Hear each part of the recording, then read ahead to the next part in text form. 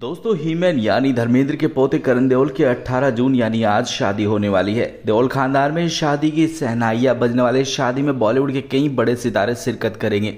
ऐसे में शादी को लेकर कई तरह के सवाल भी उठ रहे हैं। दरअसल, सनी अपने बेटे की शादी में अपने घर वालों के साथ रिश्ते ठीक करने की कोशिश कर रहे हैं। करण की शादी के बीच देओल परिवार में सभी घर वालों को शामिल करने की ज़िम्मेदारी खुद सनी देओल ने ली है।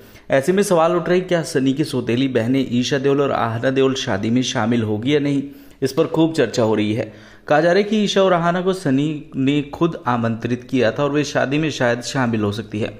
खबरों के मुताबिक, ईशा को सनी देओल ने खुद इनवाइट किया है। उन्होंने व्यक्तिगत रूप से सभी को कॉल या मैसेज भेजकर आमंत्रित किया और ईशा को अपने भतीजे करण देओल की शादी में भी शामिल हो रहा था। लेकिन अब खबरें ऐसी आ रही कि हेमा मालिनी और ईशा शादी में शामिल नहीं होगी। दोनों हल्दी और मेहंदी समारोह में भी मौजूद नहीं थी। हाल ही में सनी देओल का एक वीडियो वायरल हुआ, जिसमें देखा जा सकता है कैसे अपने बेटे की शादी की रस्मों में सनी जमकर नाच रहे हैं। उन्हें ऐसा नाश्ता देख उनके भाई बॉबी देओल काफ़ी खुश हो रहे हैं। सनी का ये वीडियो लोगों को काफ़ी पसंद आ रहा है।